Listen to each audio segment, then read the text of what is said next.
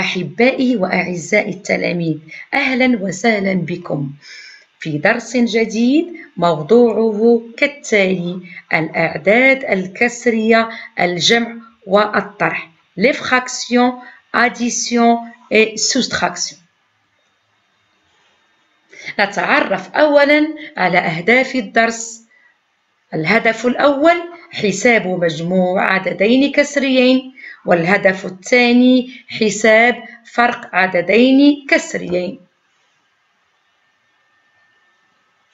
عزيزي المتعلم دائما يجب عليك أن تستثمر مكتسباتك لفهم الدرس التالي.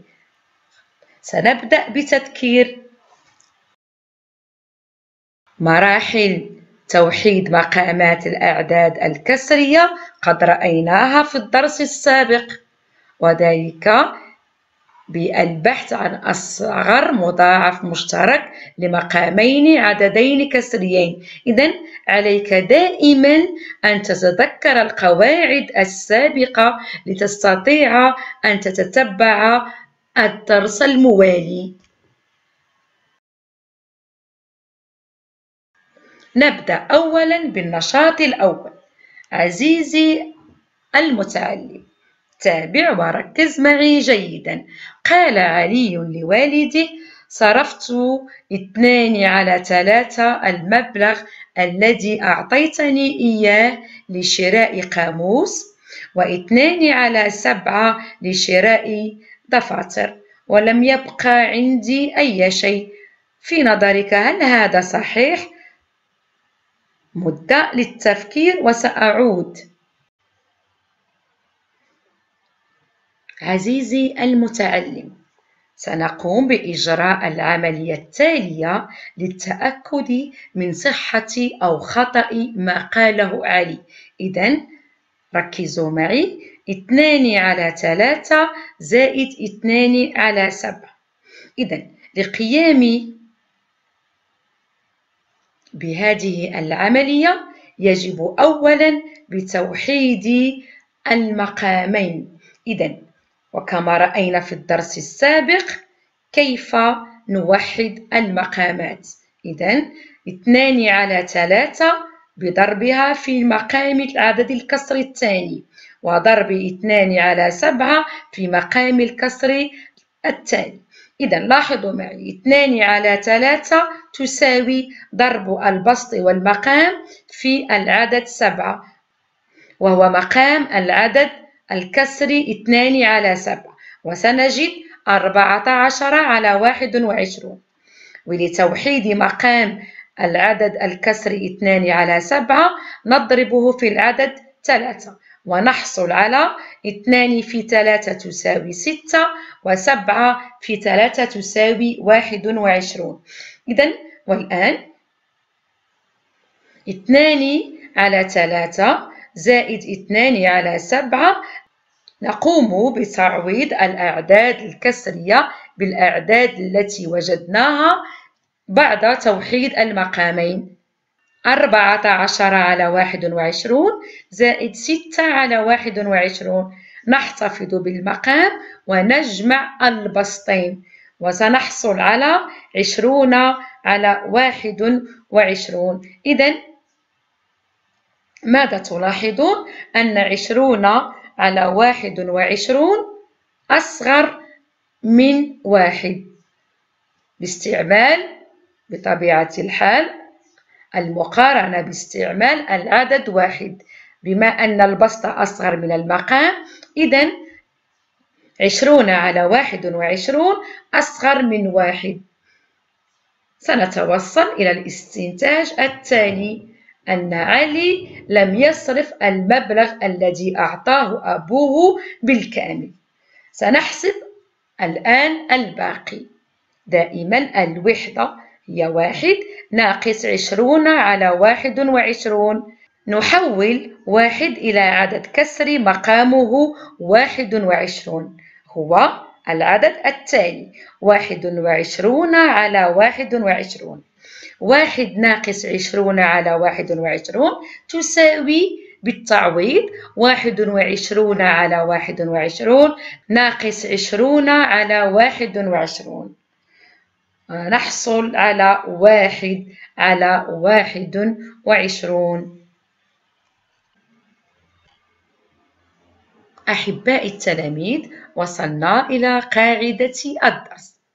وهي كالتالي لجمع أو لطرح عددين كسريين نجمع أو نطرح البسطين ونحتفظ بنفس المقام. ونختزل بطبيعة الحال إذا كان العدد الكسري قابل إلى الاختزال.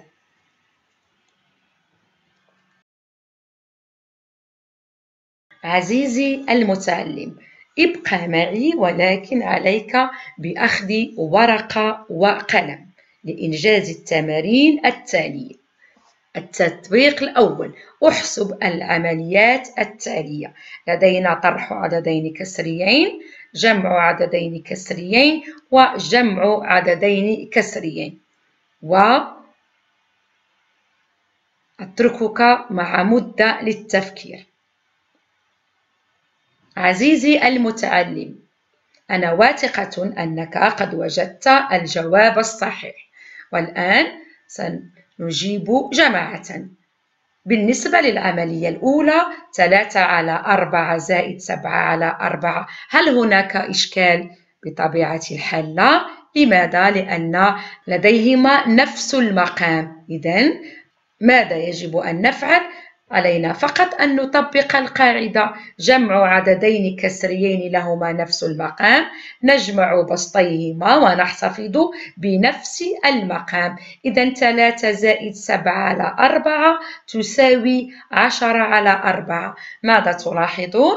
أن العدد الكسري قابل للاختزال.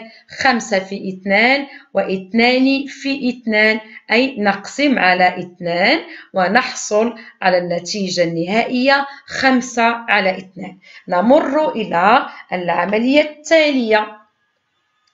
وهي كالتالي واحد على اثنان زائد ثلاثة على خمسة. ماذا لدينا؟ لدينا جمع عددين كسريين ليس لهما نفس المقام.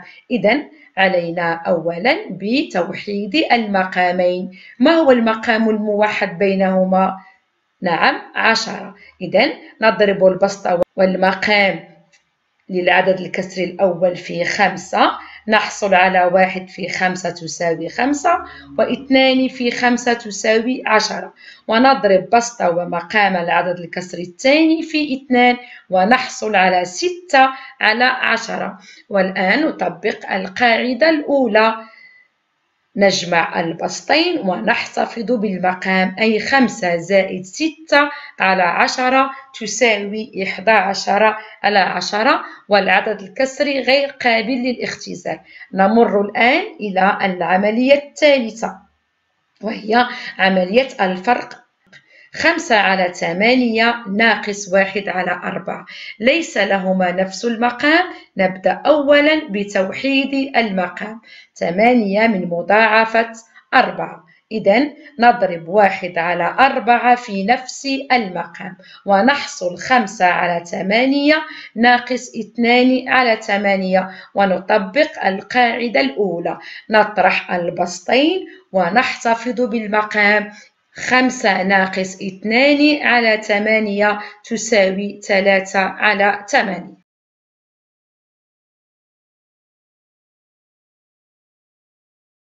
عزيزي المتعلم والآن سنمر إلى نوع آخر من الحساب أي حساب تعبير. وعندما أقول كلمة حساب تعبير أتكلم عن الأقواس استعمال الأقواس. وعندما أتكلم عن استعمال الأقواس أتكلم عن كلمة الأسبقية. وهذا تعرفونه جيدا في الحساب العددي أي عندما تقومون بوضع وإنجاز العمليات الحسابية. والآن سنستعمل كلمة الأسبقية في حساب فرق وجمع الأعداد الكسرية. إذا ركزوا ولاحظوا معي جيدا. سنقوم بحساب التعبير التالي. أربعة على ثلاثة ناقص. نفتح القوس. ثلاثة على خمسة زائد واحد على ستة ونغلق القوس. لدينا حساب تعبير إذا عندما يكون لدينا هذا النوع من الحساب نبدأ بما بداخل الأقواس أي كلمة الأسبقية للأقواس. إذا ما هي العملية الموجودة داخل الأقواس أو داخل القوسين؟ هي جمع عددين كسريين. إذا سنحسب أولا المجموع. 3 على 5 زائد 1 على 6 ماذا لدينا؟ جمع عددين كسريين ليس لهما نفس المقام. ماذا نفعل؟ أولا نقوم بتوحيد المقام. نضرب بسط ومقام العدد الكسري الأول في مقام الثاني ونضرب بسط ومقام العدد الكسر الثاني في مقام العدد الكسري الأول ونحصل كالتالي ثلاثة على خمسة ضرب ستة. نحصل ثمانية عشر على ثلاثون. وواحد على ستة نضرب في نفس العدد خمسة. ونحصل على خمسة على ثلاثون. ماذا حصلنا؟ على جمع عددين كسريين لهما نفس المقام. إذا نجمع البسطين ونحتفظ بالمقام. ونجد 18 زائد 5 تساوي 23 ونحتفظ بالمقام. والآن نحسب ثانيا عملية الفرق. لماذا؟ كما تلاحظون في الأول لدينا تعبير مكون من عمليتين عملية الطرح وعملية الجمع. إذا نكتب أربعة على ثلاثة ناقص مجموع ما وجدناه في عملية الجمع أي ثلاثة وعشرون على ثلاثون. ماذا لدينا؟ لدينا طرح عددين كسريين ليس لهما نفس المقام. ماذا بماذا نبدأ؟ نبدأ بتوحيد المقام. المقام الموحد بين العددين الكسريين هو ثلاثون. إذا أربعة في عشرة تساوي أربعون وثلاثة في عشرة تساوي ثلاثون.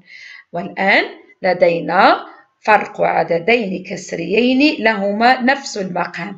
نطرح البسطين ونحتفظ بالمقام. أربعون ناقص ثلاثة وعشرون تساوي سبعة عشر ونحتفظ بالمقام ثلاثون أحبائي وأعزائي التلاميذ والآن سنمر إلى تطبيق أي سنطبق ما رأيناه سابقا. ماذا رأينا؟ رأينا أن لحساب تعبير به أقواس يجب أن نبدأ ما بداخل الأقواس أي نعطي الأسبقية للأقواس.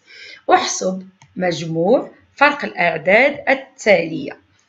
مجموع وفرق. إذا ستة على خمسة زائد أربعة على ثلاثة ناقص ستة على سبعة بين قوسين.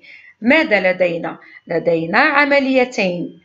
العملية الأولى طرح عددين كسريين والعملية الثانية وهي الجمع. ماذا سنفعل؟ أولا نبدأ بحساب الفرق أي ما بداخل الأقواس. أربعة على ثلاثة ناقص ستة على سبعة تساوي. طرح عددين كسريين ليس لهما نفس المقام. ماذا نفعل؟ جيد. أي نوحد المقام. ما هو المقام الموحد بينهما؟ هو واحد وعشرون. ضرب بسط ومقام في المقام الثاني وضرب بسط ومقام العدد الكسر الثاني في مقام الأول. إذا أربعة على ثلاثة تضرب في سبعة وستة على سبعة تضرب في ثلاثة أي أربعة في سبعة تساوي ثمانية وعشرون ثلاثة في سبعة تساوي واحد وعشرون ستة في ثلاثة تساوي ثمانية عشر سبعة في ثلاثة تساوي واحد وعشرون ماذا حصلنا؟ حصلنا على فرق عددين كسريين لهما نفس المقام ماذا تقول القاعدة؟ القاعدة تقول طرح البسطين ونحتفظ بالمقام. ثمانية وعشرون ناقص ثمانية عشر تساوي عشرة ونحتفظ بالمقام واحد وعشرون. والآن نمر إلى الجمع. سنجمع ستة على خمسة زائد ما وجدناه في عملية الطرح. إذا ستة على خمسة زائد عشرة على واحد وعشرون. ماذا تلاحظون؟ ليس لهما نفس المقام ماذا سنفعل؟ سنقوم بتوحيد المقامين إذا نضرب بسط ومقام العدد الكسر الأول في مقام الثاني ونضرب بسط ومقام العدد الكسر الثاني الثاني في مقام الأول. ماذا سنجد؟ سنجد أن المقام الموحد بينهما هو 105 إذا 6 في 21 تساوي 126 و10 في 5 تساوي 50 حصلنا على جمع عددين كسريين لهما نفس المقام. إذا سنطبق القاعدة الأولى. نجمع البسطين ونحتفظ بالمقام وسنحصل على 176 على 105 أعزائي التلاميذ لحساب تعبير مكون بعمليتي الجمع والطرح به أقواس نطبق القاعدة التالية. نعطي الأسبقية للأقواس ونطبق القواعد السابقة.